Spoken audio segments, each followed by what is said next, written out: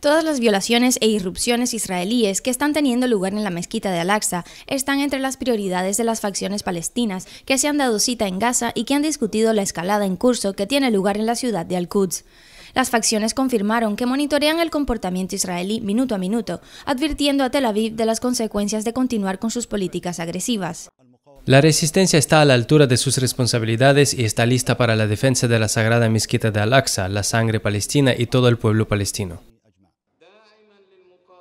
El Consejo Legislativo organizó una parada de protesta con la participación del Parlamento jordano, durante la cual hizo sonar las alarmas, haciendo un llamado a la nación para que asuma sus responsabilidades hacia la ciudad de Al-Quds. Nuestro mensaje es claro, no se desperdiciará ni un palmo de tierra palestina, cueste lo que nos cueste, sin importar cuánto tiempo nos tome y cuán grandes sean las conspiraciones, las normalizaciones y las coordinaciones.